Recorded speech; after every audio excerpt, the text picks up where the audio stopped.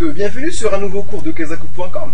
Dans le cours d'aujourd'hui, on abordera le théorème de Lagrange dans les groupes finis. Donc le théorème de Lagrange s'élance de la façon suivante. Donc si G est un groupe fini tel que H est un sous-groupe de G, le cardinal de H divise le cardinal de G. Donc le but de cette vidéo n'est pas de réviser la démonstration du théorème de Lagrange, qu'on vous invite à, à réviser bien sûr.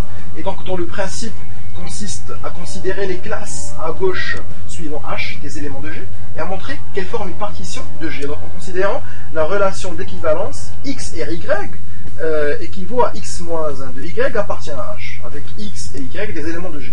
Donc, sans s'atteler davantage sur la démonstration du théorème de Lagrange, on va surtout étudier certaines applications de celui-ci. Donc, qui sont, donc, que je vous ai concoctées. Donc tout d'abord, si on considère un groupe fini donc de cardinal premier, alors ce groupe est cyclique. Deuxièmement, on va montrer le théorème de l'air et le théorème de Fermat, dont on va faire le rappel tout à l'heure. Et pour conclure cette vidéo, on fera une petite application arithmétique grâce au théorème de Lagrange. Donc, premièrement, je vais, vous énoncer l'exercice qu'on va résoudre. Donc, tout d'abord, décortiquant cet énoncé. Que veut dire G cyclique? C'est-à-dire que G s'écrit de la façon suivante. De, des puissances de G jusqu'à arriver à G à la puissance B-1. C'est ce qu'on doit démontrer dans cet exercice. Et donc, avant toute chose, avant toute chose, euh, donc, euh, analysant cette, l'énoncé. G est un groupe fini, donc on doit montrer que G à la puissance T-1, autrement dit, donc G s'écrit sous la forme de, puissance de G, petit g. Et donc, il existe un petit g tel que G s'écrit de la façon suivante. Donc, on va considérer tout d'abord le cas où cardinal de G il est égal à 1. Donc si cardinal de G est égal à 1, alors euh, c'est clair que mon petit g est égal à l'unité. Donc l'unité c'est un groupe cyclique, il n'a plus rien à démontrer.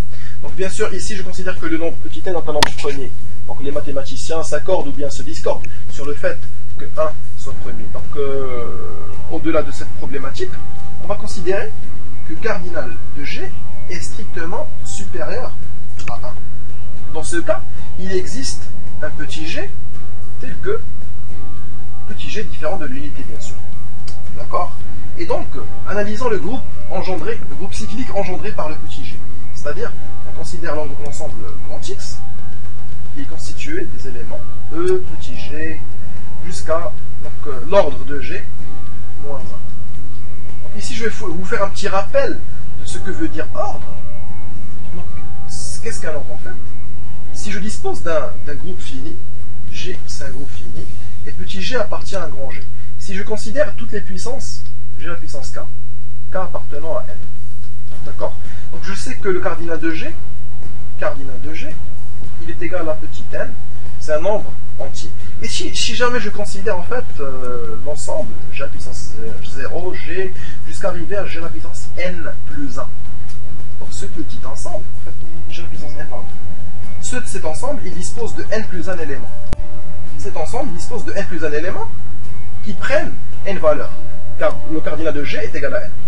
Donc en appliquant le théorème de Dirichlet, ou bien ce qu'on appelle le théorème des trois pigeons, ou encore connu sous le lemme des tiroirs, on sait qu'il existe donc n plus une valeur, n plus une euh, écriture de, puissance de G qui prennent n valeurs, et donc il y a nécessairement un i et un j, tel que i différent de j, de la sorte que, si je considère que i strictement supérieur à j, que i moins j puissance de G à la puissance I moins G, est égale à E. Et du coup, si je considère l'ensemble des puissances de G telles que, je considère cet ensemble, G à la puissance K, tel que G à puissance K est égal à E, alors cet ensemble, je viens de montrer, donc bien sûr avec K différent de 0, je viens de montrer que cet ensemble est non vide, donc je viens de montrer que cet ensemble est non vide, et puisqu'il est non vide, alors il admet une, un plus petit élément. Puisqu'il admet un plus petit élément, on va noter ce petit élément, l'ordre de G, petit O de G. Donc c'est le plus petit élément tel que G à la puissance K est égal à E. Et donc G à la puissance K moins 1 nécessairement est différent de E. D'accord? Et donc euh, nécessairement, si G à la puissance un certain P est égal à E, on peut montrer que K divise E. C'est ce qui est démontré ici. Donc on retourne à notre exercice. Donc ici, en fait, voilà, donc j'ai euh, considéré le sous-groupe engendré par le petit g. Donc puisque j'ai considéré ce sous-groupe, cardinal de grand X, I est égal au à l'ordre de G. Donc puisque le grand X est un sous-groupe du groupe G, alors en appliquant le théorème de Lagrange, donc voilà, l'ordre de G divise donc N. Et donc puisque N est pair, alors l'ordre de G, alors l'ordre de G, il appartient à l'ensemble à N. D'accord? Puisqu'on a dit au tout début que G est différent de E, alors j'exclus l'éventualité que l'ordre de G est égal à 1, bien sûr. L'ordre de G est égal à petit n. Donc, le grand X, qui est égal au sous-groupe engendré par petit g, s'écrit de la façon suivante.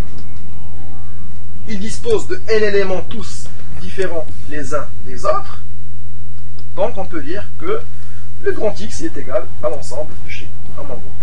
Et donc j'ai démontré que mon groupe euh, fini de cardinal premier, premier, c'est un groupe cyclique. Maintenant montrons le théorème de l'air dont j'énonce l'énoncé ci-après.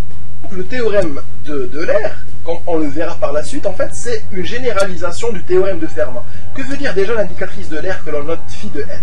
Donc c'est l'ensemble des antinaturels strictement inférieurs à n, tels que ces antinaturels sont euh, premiers avec n. C'est leur, leur cardinal. D'accord? Donc naturellement, on pourrait vérifier que phi de 3 est égal à 2, que phi de 10 est égal à donc, 4, euh, c'est-à-dire que c'est l'ensemble des entiers naturels inférieurs strictement à 10 qui sont premiers avec 10. Euh, donc on va les dénombrer maintenant si vous voulez.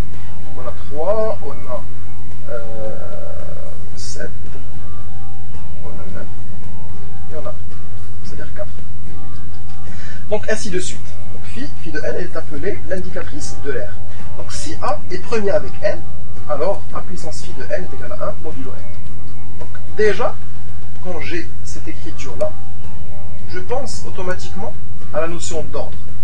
Ainsi, devrais-je interpréter le cardinal, donc le, phi de n, comme étant un cardinal d'un groupe fini. Donc phi de n, ça se voit naturellement que phi de n est égal à cardinal du groupe z sur nz étoile, c'est-à-dire les éléments inversibles, d'accord, z sur nz. Et donc, euh, étoile, euh, Et donc phi de n qui est égal à cardinal de z sur nz étoile, je peux, je peux dire que z sur nz étoile, c'est un groupe fini de cardinal phi de n. D'accord. Donc si je considère si A est premier avec n, si A est premier avec n, alors A, naturellement, il appartient à z sur nz étoile. A est inversible, d'accord, dans le groupe z sur nz étoile, pardon. Et donc, euh, on peut dire euh, que, on peut considérer en fait l'ensemble grand A qui est égal aux éléments engendrés par le petit a, à la puissance k, k appartenant à n. Donc, ça se voit que le, A est un groupe, de sorte que cardinal de A est égal à l'ordre du petit a. On est bien d'accord jusque-là. D'accord? Donc, euh, à ce stade, que peut-on dire? Donc, on peut dire que, euh, en considérant A différent de E, bien sûr, avec A différent avec A différent de E, on peut dire que le cardinal de A, en appliquant le théorème de Lagrange, puisque le grand A c'est un sous-groupe de Z sur Z étoile, alors cardinal de, grand A divise cardinal de Z sur Z étoile, c'est-à-dire phi étoile. Donc, le petit a qui est égal à a puissance, donc ordre de a, il est égal à 1 dans l'anneau z sur z étoile. Donc dans le groupe z sur z étoile, étoile pardon, les éléments inversibles. Donc euh, a puissance petit o de a est égal à 1 modulo n. Donc si, puisque petit o de a divise phi de n, alors je peux écrire phi de n sous la forme de petit de a pour un certain petit.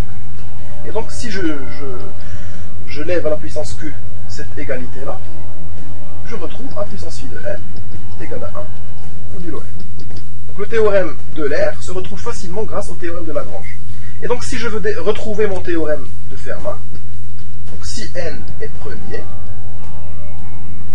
alors phi de n est égal à n-1. On peut facilement vérifier que les n-1 premiers termes sont tous premiers avec n, puisque n est premier, car il est divisible que par 1 et par lui-même. Et donc, puisque n est premier, alors en considérant les mêmes conditions que le théorème de l'air, c'est-à-dire on a, quel que soit A différent, A strictement inférieur à N, A est premier avec euh, N, et donc euh, on peut dire facilement que A puissance phi de N est égal à 1, c'est-à-dire que A puissance N moins 1 est, égal à 1 modulo N. Donc le théorème de Fermat est une conséquence directe du, théorème de l'air. Donc pour finir ce mini-cours, on va montrer, on, va, étudier donc une, euh, application arithmétique très très sympathique, qui est la suivante? Donc si donc je, vais vous les énoncer donc les, le problème.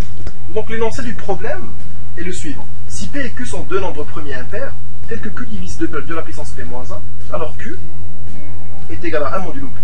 Donc l'on peut interpréter de la façon suivante. Alors on doit montrer que P divise Q-1, autrement dit. Donc si on écrit, si on, si on traduit donc ces expressions sous la forme arithmétique, de la puissance P devient égal à 1 modulo Q. D'accord? Et donc on pense automatiquement à travailler sur, donc, sur le groupe Z sur QZ étoile par. Donc euh, si on considère en fait l'élément 2, si on va considérer le grand X, c'est l'ensemble des éléments engendrés par 2, c'est-à-dire E2 jusqu'à 2 la puissance ordre de 2 moins 1. Alors, on sait que, euh, d'après le théorème de Lagrange, et en l'occurrence le théorème de Fermat que l'on vient de démontrer, l'ordre de 2 divise Q-1, qui est égal en fait au cardinal de Z sur QZ, étoile. Donc, d'une part, et d'autre part, on a 2 la puissance P est égal à 1 modulo Q, c'est-à-dire que euh, une puissance de P, elle me donne l'unité. Donc on peut facilement montrer que 2 à la puissance P est égal à 1 implique que P, que l'ordre de 2 divise P en fait. Donc comment va-t-on le démontrer?